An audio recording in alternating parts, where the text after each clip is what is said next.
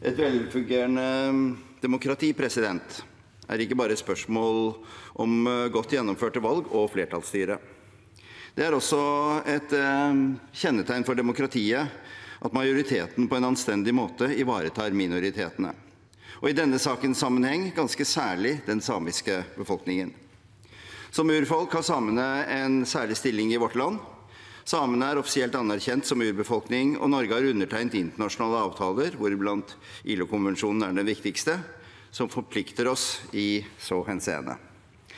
Det å møte en hel folkegruppes interesser med sikte på god sameksistens og gjensidig respekt kan ikke handle om å kjempe kamper fra sak til sak, men må bygge på et langvarig samarbeid basert på tillit og gjensidig forståelse.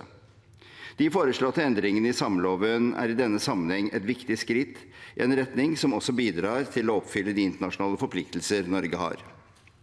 Konsultasjoner er en særlig forhandlingsform der utgangspunktet er at man skal lytte og møtes under en intensjon om faktisk å bli enige, selv om det ikke alltid vil være tilfellet.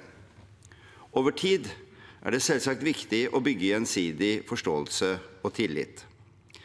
Konsultasjonsordningen er ikke altså en forhandlingsform for enkeltsaker.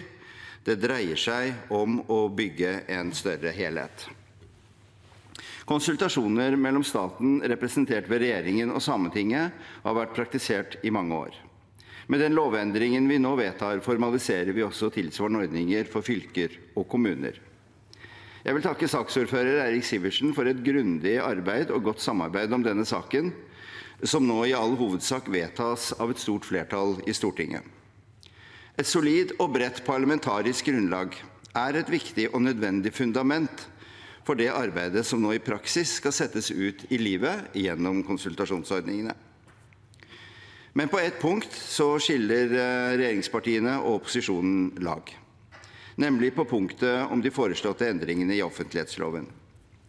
For regjeringspartiene er prinsippet om åpenhet og innsyn et selvsagt utgangspunkt. Vi har da også fremmet et forslag som strammer noe inn på det som var regjeringens utgangspunkt. Når vi likevel ikke kan følge opposisjonen på dette punktet, er det fordi vi mener inngrepet for offentlighet ikke er stort, og at de praktiske rammebetingelsene for fylker og kommuner blir dårligere enn de vi ser at staten så langt har hatt stor glede av i kommunikasjonen med Sametinget. I det praktiske liv kan mulighetene for å ha den fortrolige samtalen og dele foreløpige vurderinger være en viktig del av verktøykassen for å finne frem til gode løsninger, og jeg har notert meg at Sametinget deler denne oppfatningen. Uansett, mange kommuner og fylkeskommuner skal i fremtiden gjennomføre konsultasjoner med de samiske interessene i sine områder, og jeg håper og forventer at de vil løse den oppgaven på en god måte.